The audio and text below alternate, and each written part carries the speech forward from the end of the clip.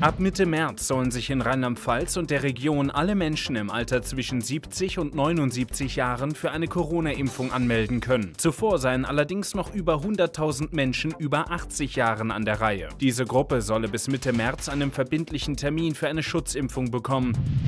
Im Dienstgebiet des Polizeipräsidiums Koblenz ist die Zahl der Straftaten um mehr als 5% zurückgegangen. Demnach seien im Jahr 2020 knapp 3400 Straftaten weniger verzeichnet worden. Die Aufklärungsquote stieg auf 65,5%. Dieser positive Trend wurde allerdings auch durch die Auswirkungen der Corona-Pandemie beeinflusst. So würde mit dem Wegfallen von Veranstaltungen und den pandemiebedingten Ladenschließungen oftmals die Tatgelegenheiten fehlen.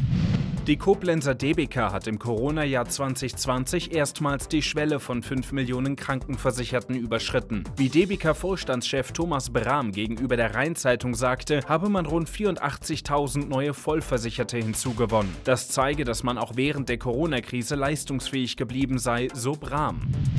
Rund 12.500 Euro hat der Spendenstream von unserem Sender, dem Zoo Neuwied, eingebracht. Die Sendung war am 7. Februar live mit Beiträgen aus den Tiergehegen des Zoos gestreamt worden. Dabei wurden die Zuschauer dazu aufgerufen, für die Rettung der Tiere und der Anlage zu spenden. Zu Gast war dabei unter anderem der Oberbürgermeister der Stadt Neuwied, Jan Einig. Das Projekt fand in Zusammenarbeit mit dem Landkreis und der Sparkasse Neuwied statt.